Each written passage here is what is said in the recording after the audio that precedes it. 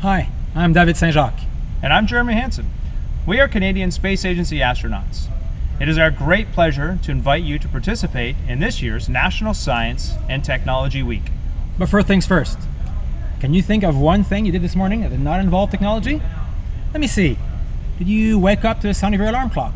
Did you flip the light switch in your bathroom and brush your teeth with toothpaste? Did you eat toast for breakfast?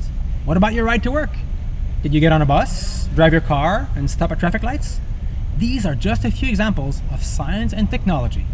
They are so present in every aspect of our everyday lives that we take them for granted. Now, just try to imagine a day without science and technology. Forget it, it's impossible. Now, what if we say space science and technology? Well, it's no different. They are an integral part of our lives too. Every time you use your cell phone, look at the weather forecast, or update your Facebook status, you're using satellites. Every time you use your GPS or watch your favorite TV show, you are using satellites.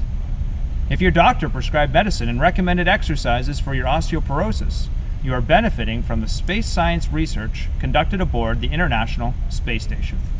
And the science performed on board the space station enables researchers from all over the world to put their talents to work with innovative experiments that could not be done anywhere else.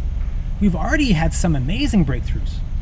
All in all, science and technology work for the benefit of all Canadians and touch all areas of our lives. But who are these people behind those advancements? We want to thank all Canadian engineers, scientists, and technicians for the amazing work they do every day. They actively contrib- contribute to our future.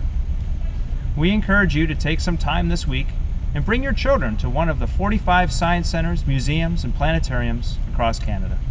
Search on the internet for fun and simple science experiments to do at home with your family and friends. Get out there, ask questions, wonder, ponder, and discover how science and technology touch the lives of all Canadians. Tomorrow's innovations will come from today's young, imaginative minds. We can't wait to see what they will be. Have a great National Science and Technology Week.